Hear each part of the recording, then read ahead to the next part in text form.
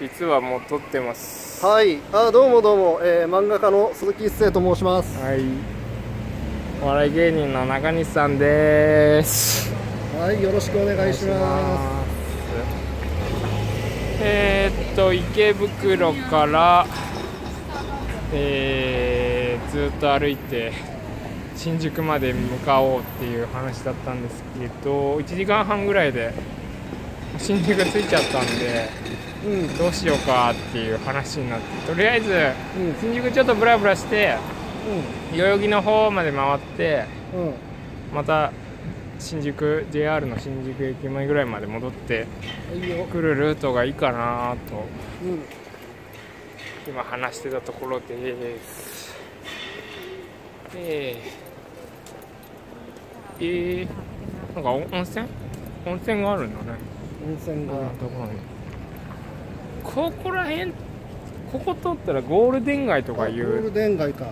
違うかな、はい、いやゴールデン街だね噂のね。行く？一回だけ飲んだことあるそこで、はい、さあ信号も青になって。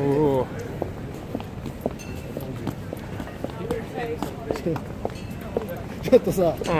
自転車進入禁止もいいけどさなんかちょっと多いねこれね。これはもう絶対通さないっていうのがもうっかやっぱさすが新宿だからさ、うん、下手に自転車で入るとさ、うん、いざなんか怖い目にあった時にさ、うん、その人が脱出するのが大変になっちゃうからそういう配慮できっとさ、自転車入れないようにしてるんだねなんつって、自転車で追いかけられたとして？自転車で追いかけられたもそうだしさ、うん、逆に自転車の持ち主の人が逃げる立場だったとしてもよ。ああ。すげえ焼肉の匂いがするな、うん、そうだね。焼肉に敏感な体質になってんじゃないの今。そうだいや逆にどうでもいいやって。なんじゃないの。なんだ焼肉かよぐらいの。いつもの匂いだな1月7日から牛角食べ放題の1ヶ月？そうだね。1ヶ月食べ放題の資格を有しているものです、ものです。今日は？今日も多分この撮影終わったら俺行っちゃうね そうなんだ。へえなんだかんだ言ってやっぱ肉は体にいいからね、そうまあ食べ過ぎはどうかと思うけどね。まあ自分の体なんで。気をつけてね。そうだね。体調変わんない？全然？体調か。は変わらないけど、うんうんタンパク質の取りすぎってさ、うん、肝臓にダメージがいくらしいのよねやっぱり。ああそうなんだ。で肝臓っていうのは、うん、悪くなったってことが自分では自覚できないものらしいのな。あそうなんだ、うん、怖い。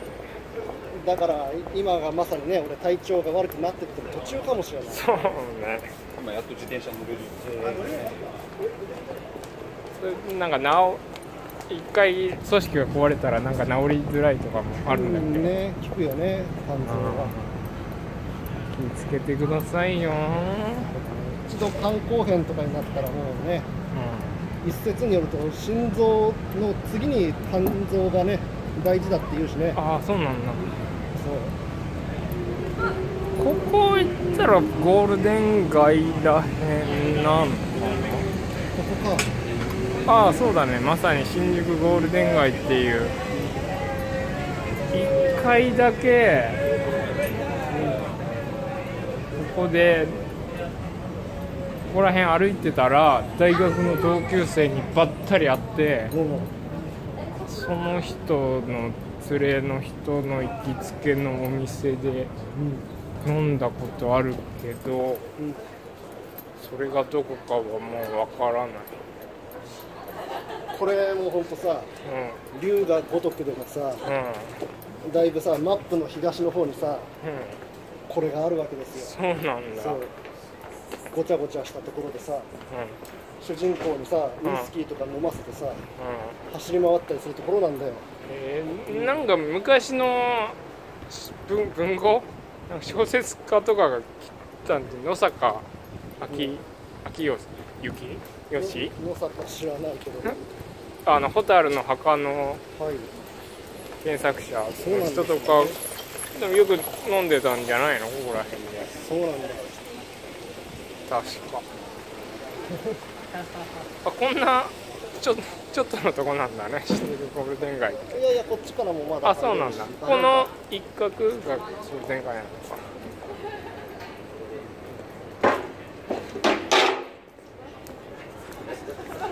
あれなんか吉本のさ、うん、本社ってどこら辺なのか俺行ったことないんだよね、まあ、近くなんでしょうね。吉本の本社？本社じゃなかったっけな。東京本社？東京本社なんだ。歌舞伎町のにあった小学校かなんかを改装してそうそう。もうもう10年ぐらい前じゃないだからそっか。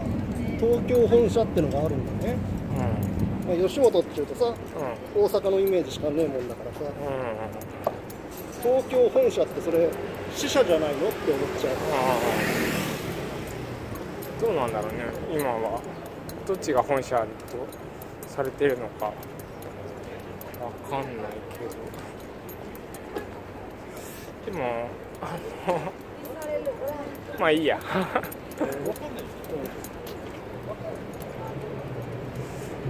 で、えー、ゴールデン街を経て、これ何通りっつうんだろうね。あのアルタとかのあるところかな。あさっき名前が出てこなかった看板が見れるよ 多分。あのー、高田馬場からさ新宿向かってるそうだ、ね、道路を歩いてたらさ遠くからでも見えたんだよねあの看板が。であの看板何の看板だっけ？って言って2人とも名前が出てこなかったあのオフィスにねいろいろ備品をさ電話で頼んだら、すぐ持ってくるみたいのを。で俺らその間にさ全然スマホで調べたりもしなかったんだよね律儀だからさ えー、たの頼めるか。頼め大塚商会。うん。分かったけどいまいち 分かったのにピンとこないねなんか。そうだね。えそんなんだっけ？ってタノメールなのか大塚商会なのか、うん、どっちなんだろう。あの時点で鈴木さんに「ああそれタノメールですよ」って「うん、ですよ」って言われても「え？そうだっけ?」って感じになったと思うわ俺、うん、いまいちピンとこない。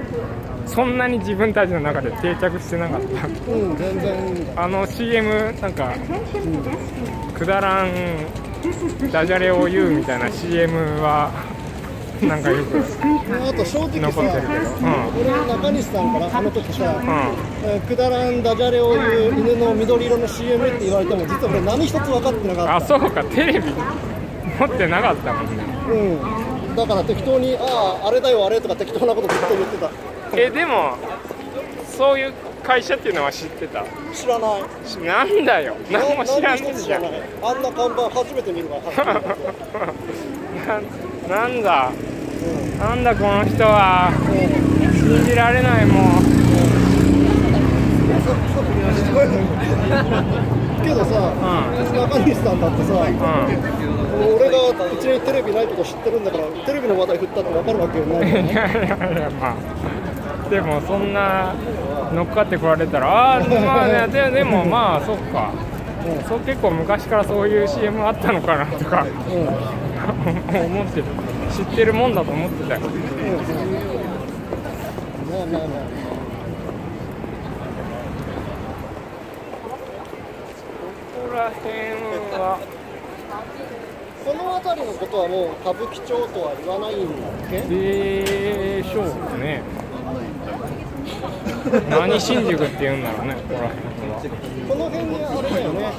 松竹さんのタド座っていう劇場がありますだね。あの大きいデパートとかがいっぱいあってここのたまに献血行きますあ行くんだ。行く行くなんだろう。本当失礼なんだけど、うん。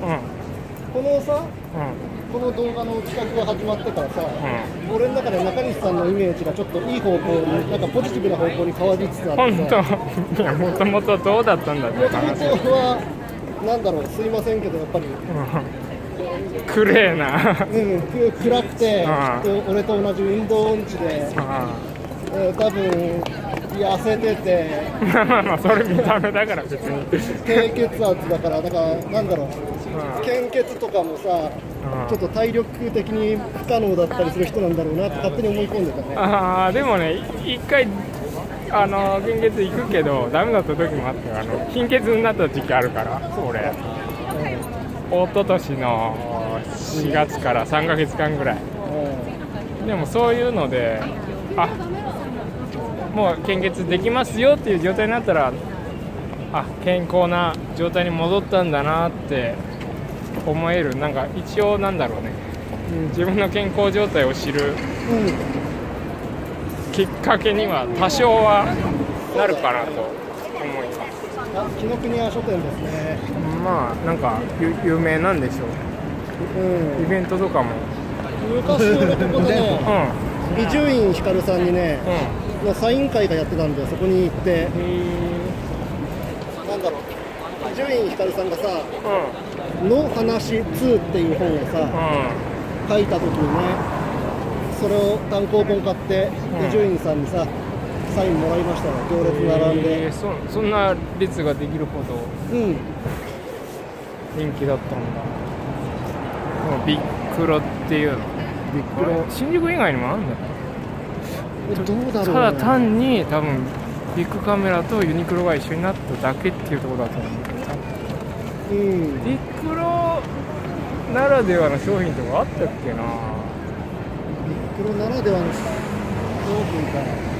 んか服とかで、なかなかね、う服とさ、ん。電化製品さ、うん。融合しにしにくいよね。ん、プロって言われてもねあでもあのレコード針をうん、年に1回交換するときにここを利用させてもらってるんでおお世話になってます。応援してます、なん。か 急にディスっちゃダメなんじゃないかっていう気分になってきた。なんかでも、今、レコードバリ、レコードっていう言葉が出てきたけど、う俺と中西さんで一番違うなって思うのがさ、俺、音楽普段全然聴かない。んうん。うん。だけど中西さんはね、相当、まあ多分趣味って言えるのそれぐらいだね。なんせレコードで聴くんでしょ、音楽を。うん。いやもともとはでも CD で聴いてたよ。うん。うん聴いててあ俺かなり音楽好きだなって。まあある時期自覚してでまあ俺音楽好きになると大体そのバンドのメンバーが言ってるインタビューとかも結構うん読んだりうんうんそのバンドの歴史の本とかも買って読んだりするんだけどその中でねなんか俺が好きなアーティストがやっぱりレコードの方がいいって言うの聞くのよ、うん。うんえー最初はそうなんだっていう感じで受け取ってたんだけどなんかねそれでやっぱり自分が好きな時代っていうのがちょっと分かってくるんだよね。そのレコードのバンドが活動してた時期とか。それが70年代の半ばとか80年代のバンドとかが好きだなって思うようになってそうなるとまだその時って CD はないし70年代まだレコードがさ元気な時代だからその当時の人たちは、まあ、レコードで聴いてたわけだよ。ねだからなんかその当時が聴いてた人と同じ感覚で聴きたいみたいな気持ちになってきてでそうだね。そっか。あのー、もともと住んでた狭い部屋からちょっと広めの部屋に引っ越す時に、まあ、レコードの聴く機会ってちょっと大きいからさちょっとひ広い部屋に引っ越すからこのきっかけで、レコードのターンテーブルっていうの買って聴こうかなと思って、うん、聞き出したまあ、レコードの方が音いいとは言われてるんだけど、うん、実際比べたことないんだよね。あの CD 聴いてた時はさラジカセ CD ラジカセで聴いてたから、うん、CD コンポとかだと、うん、やっぱり音の良さとかをある程度追求してるけど、CD ラジカセなんてさ、その 音の良さよりもさ、コンパクトにして持ち運びができるとかっていうのを考えて作られてるからそんな音良くないんだ。それとそれ今使ってるんだよね CD ラジカセ今も。ずっと。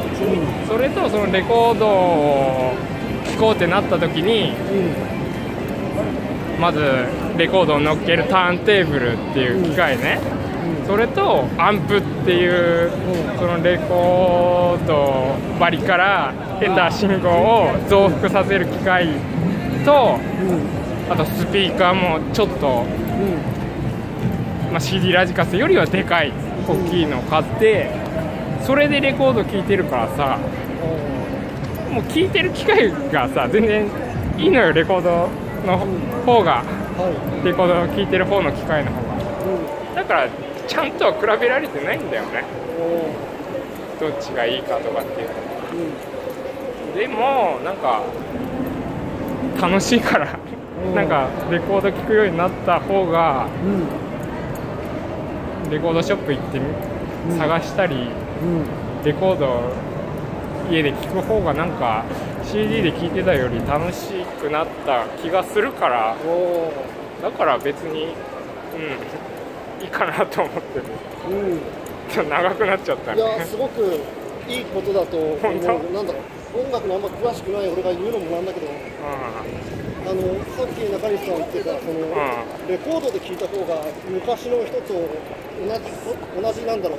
同じことをして聴けるから同じ味わい方ができてるとかそういうのがいいなってあそう、結構音楽好きな人って思い入れで、うん、実際どうかとかより、うん、思い入れで聴いてるっていうのはでかいと思うからね、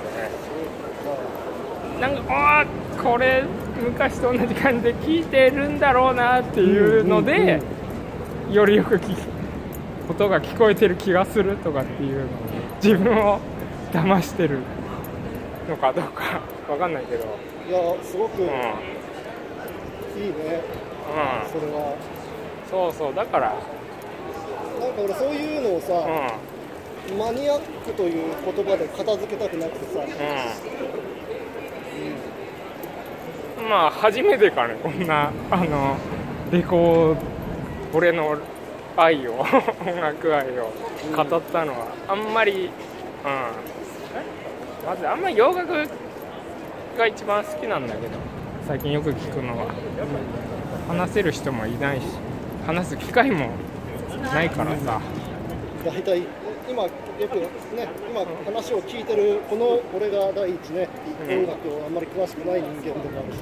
でもなんかいろんな趣味の人にさ通じるもんはあるんじゃないの？あるあるあるある。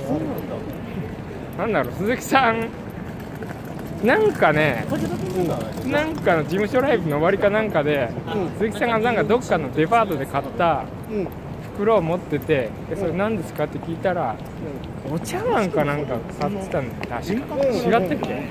買ってた。そんな時もあったっけ？そうそう。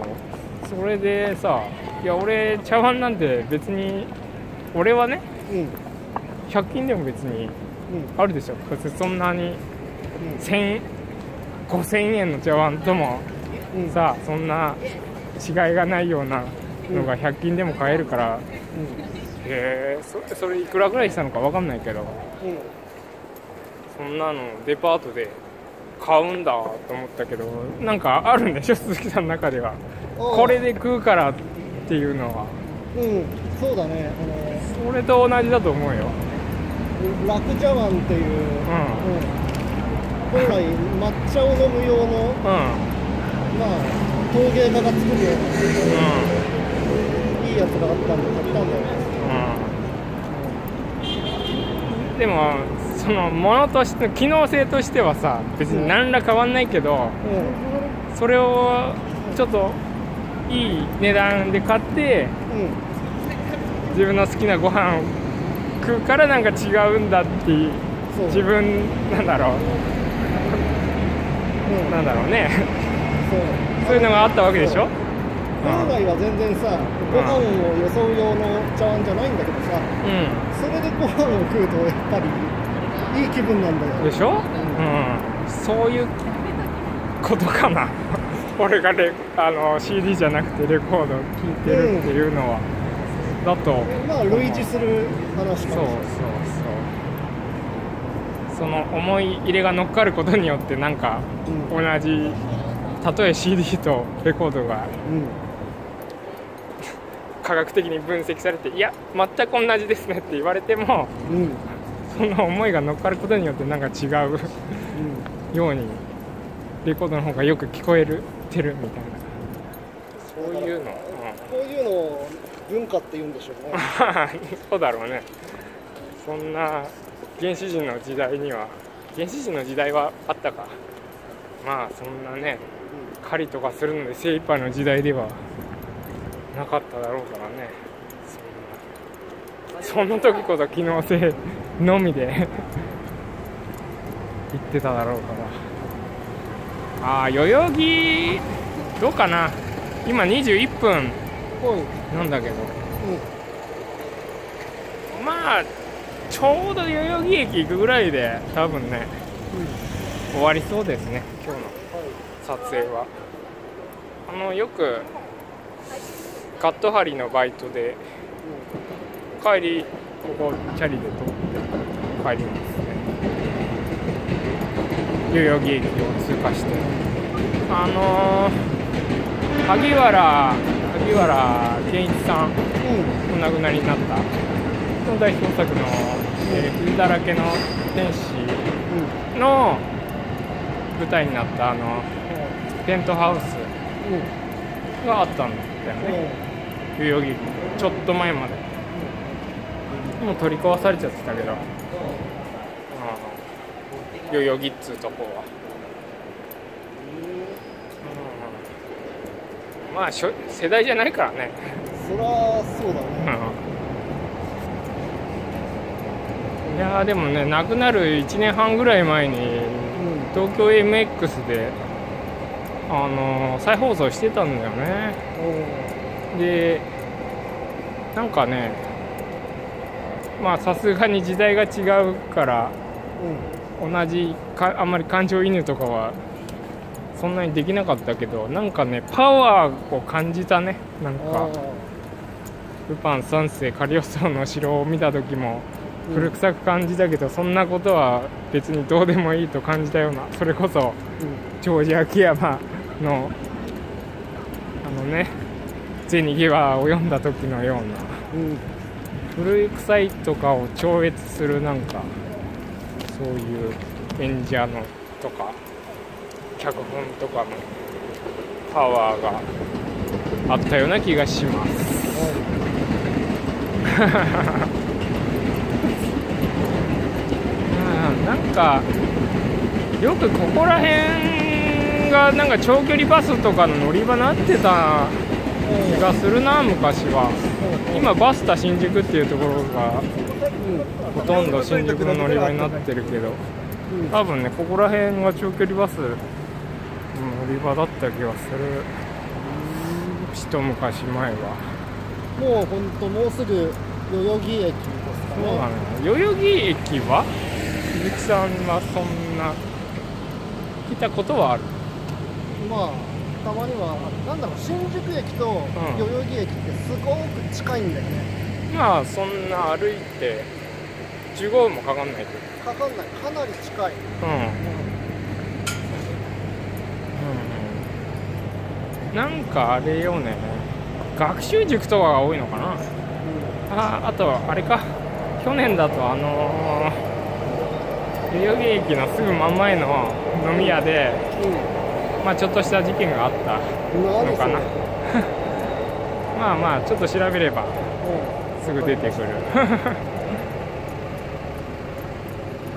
まああと5分ぐらいで30分になるけどとりあえずまあ代々木駅までは撮影しようかじゃあ、あ鈴木さん。鈴木さんなんか疲れてる？いや疲れてない疲れてない。なんか言葉数少なくなってきちゃったけど俺がさんがたくさん喋ってるから俺は邪魔したくなかったあそうなの？うん。じゃあ。だっておかしいじゃん。俺音楽詳しくないしさ。萩原健一のことも俺よく知らないしもちろん知らない。中西さんもよく知らないだろうけどさそれでさ俺が入り込める話じゃねえなと思ってずっと聞いてたんだけどさ。もうあと4分ぐらいしかないからなんかテーマとか出してもな。あのー、俺さ、うん、これ俺の悪い癖なんだけどさ、俺ね、人と会話をしてて、沈黙が長くなっても、気まずくない人間あそうなの？そう。これ本当自分としては悪いことだと思ってて。ああまあ別にそんなそれを知れば別にそんな悪いことだと思うけどまあちょっと気になっちゃう人もいるかもね。多いと思うんだよ。なんか沈黙が続くと気まずいとかさ。うん。あれなんか知らんうちにちょっと怒らせちゃったのかなとか。うん。うん。っていうのもさ、うん、俺別になんだろう、しゃお互いが喋らない時間も喋、うん、らないという言葉だと思ってるからおお、うん、なんか深そうなことを。お互いが喋らない間も、風は吹いてるし 風景が存在しててあと外にいると音が聞こえてさ全て現象が起こってるわけで言葉がないからといって、言葉だけが世界の全てでは全然ないから気にすることがないんだよねこれは今度どっかの講演会で喋ろう今の内容そう,、ね、そうですか、うん、だけどね、俺だけがそう思ってても相手がそう思ってないんだったらさ、ただのコミュニケーション不足になっちゃうからさ。まあでもねまあ俺もなんかよくあるからね。そのこの前のさ、動画で話してたその前、組んでた相方とも、なんか前の相方がずっと喋ってて、俺が何も言わないと、え俺独り言今ずっと喋ってんのみたいな。言われたことあるけど、いやまあああそうなんだと思って聞いてて。で向こうがさ、うん、怒るようなことは言わない方がいいし、うん、と思ってずっと聞いてたら、うん、何無視してんだみたいな感じで言われたことあるよね。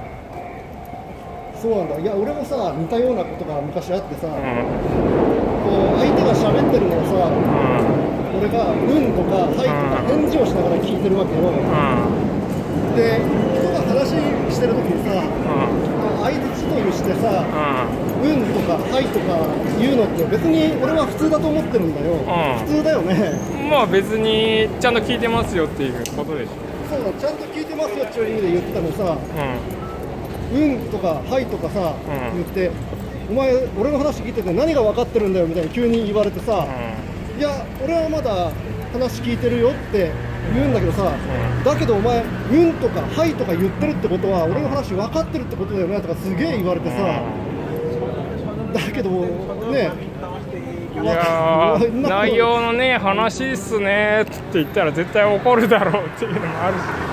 なんか相手の人多分さ、うん、俺があんまり「うん」とか「はい」とかずっと言ってるから、うん理解しにくい話をわざと向こう多分してたんだ。俺を試すつもりで、うん、で簡単に理解できるような話をしてはいないはずなのに、うん、なんで鈴木は「うん」とか「はい」とか言うんだろうっていう感じになってたんだと思うんだよ。うん、でで要は相手の一人相撲になったんだけどさ、うん、うん、でもそれ目上の人だったらすみませんって言うしかない感じだよね、うん、いやそんな怒ると思わんかったよっていう、まあ嫌だったな。まあそいつは俺もう嫌になっちゃったからそいつとはもう絶交して もう疎遠になったし二度と会ってねえし。何が気に入らなかったのだろうね、うん、だから相手の人さ、うんちょっと大阪の人でさ、うん、出身の人でさ、うん、どっちかっていうと人とのコミュニケーションが好きな人みたいでさ、うん、だからなんだろうボケとツッコミの文化みたいなので育ったみたいでさ、なんか嫌だったみたいだけど。まあなんかもっと議論をしたかったのうん。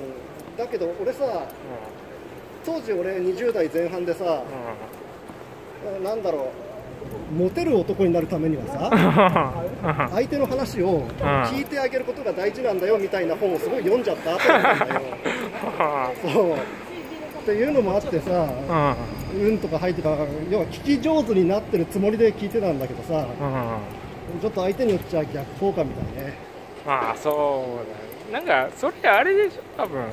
俺がそんなこと人の口で言うんだって感じだけどなんか女性との会話方法みたいな本だったんじゃない？多分それ。そうなんだよね。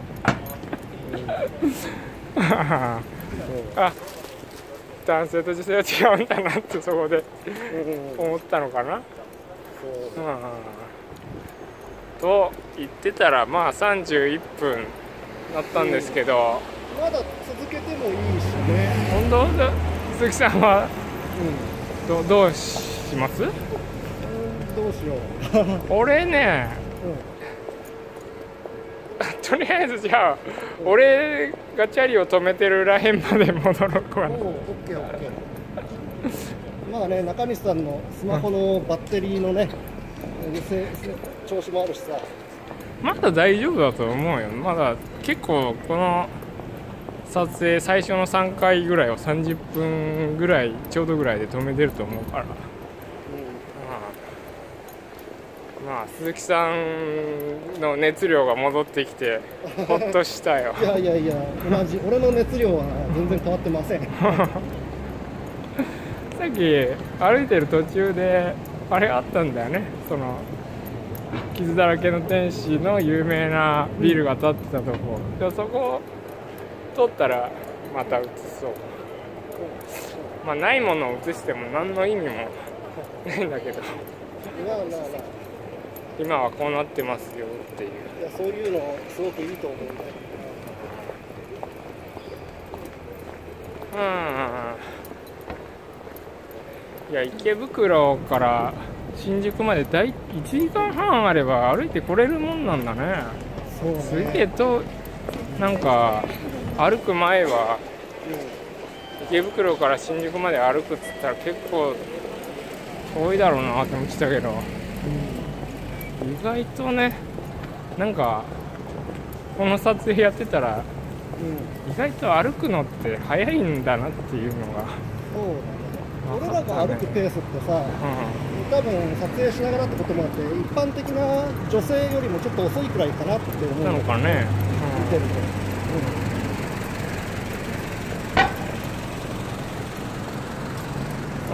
うん、このビルの隣にあったんですよ、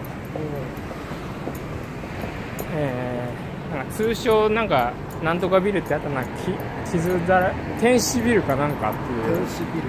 傷だらけの天使のここにあったんですよ。そのなんていうビルの名前だったんだろうな。もう分かんないけど。去年取り壊しになっちゃった。ここにあったんです。おやその傷だらけの天使の舞台になったペントハウスのビルが。去年までは確かにあったんですけど杉原健二さんが亡くなられてしばらくして、うん。えー、取り壊す。まあその前から決まってたんだけどね。取り壊しなんていうのは、うん、なんか偶然なのか、うん、そのビルを象徴するような俳優さんがね亡くなられたと、時を経たずして亡くなっちゃうっていうのはね、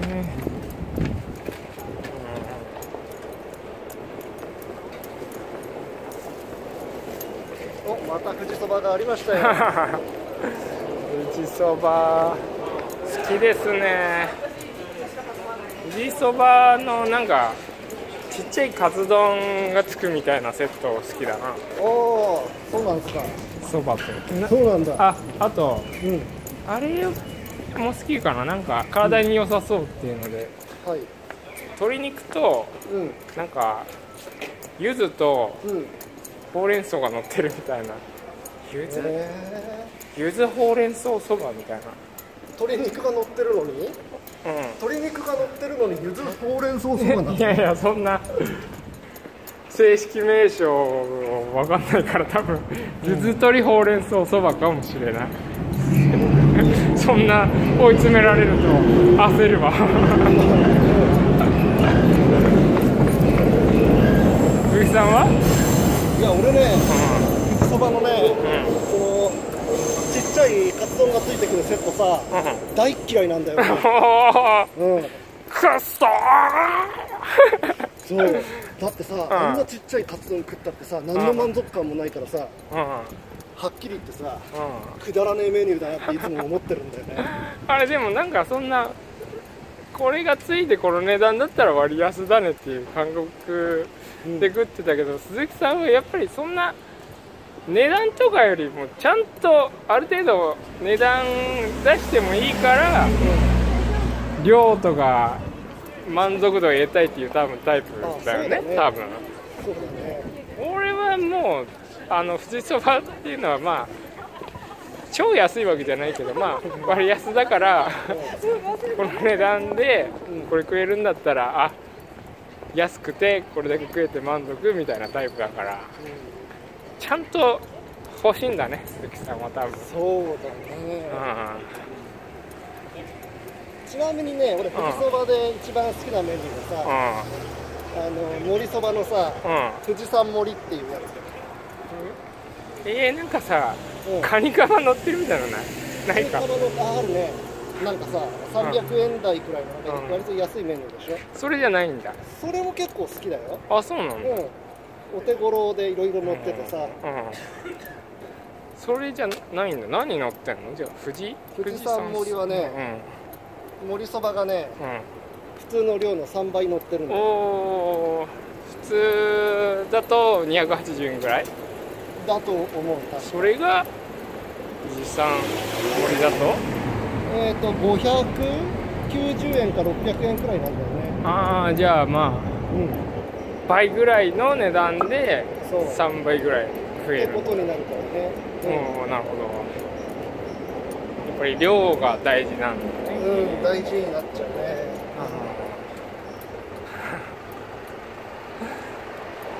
じゃあまあ富士そばトークが白熱したところでそろそろうんじゃあ今回の撮影終わりにしますか。はい。次は次の撮影は多分2月の終わりぐらいになると思いますけど。はまあなんかどっか行きたいとかあればって言っても大体どこでもいいよって感じなんだけど鈴木さんは。いまあまあまあまだ1ヶ月ぐらい時間あるんで。うんそうだよ。じゃあとりあえず今回の撮影はじゃあ終わりにしますか。はい。